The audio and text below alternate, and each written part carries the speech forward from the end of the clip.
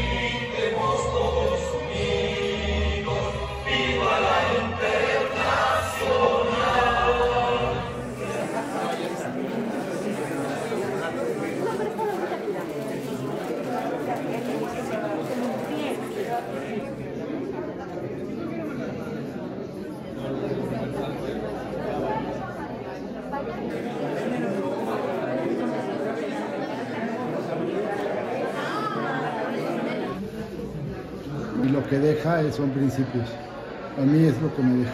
Fue un hombre íntegro, íntegro, íntegro en todos los sentidos. Nunca se desvió, nunca se desvió. Incorruptible.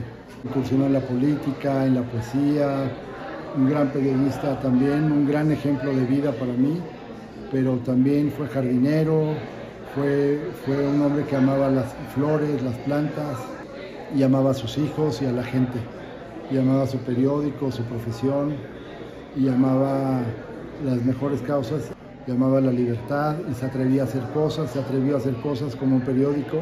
Siempre fue poeta, siempre fue poeta desde el principio. Y fue un gran papá, excepcional.